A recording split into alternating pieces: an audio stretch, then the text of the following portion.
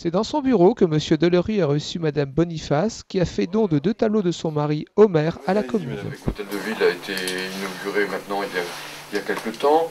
Et puis l'ancienne salle des mariages euh, de l'hôtel de ville bon, était désaffectée puisqu'on a construit euh, plus grand. Et cette salle, euh, elle sert à l'heure actuelle de salle d'exposition. Nous avons donc souhaité, avec votre accord évidemment, que cette salle soit officiellement dénommée, baptisée salle Homer Boniface. Donc nous procéderons toujours avec votre accord à cette inauguration le 17 octobre prochain.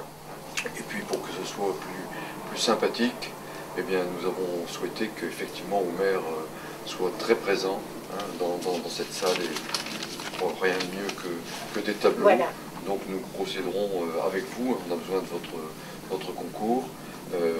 une exposition d'œuvres d'Homère. Voilà. Alors Madame Boniface ben, offre à, la ville ces tableaux. moi je vous remercie infiniment au nom de la ville pour le don que vous faites aujourd'hui. Je, je, fais très volontiers, je dis pour que mon mari vive toujours, pour qu'il soit toujours là. Oui, bah, ils seront mis en bonne place ici au sein de l'hôtel de ville pour que euh, tous nos concitoyens puissent euh, les apprécier. Madame Monique Morel a procédé au nettoyage des toiles.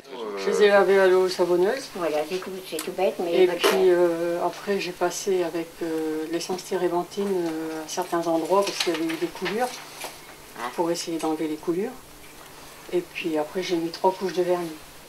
Rendez-vous donc le 17 octobre pour admirer l'étoile dans la nouvelle salle Homer Boniface de l'Hôtel de Ville.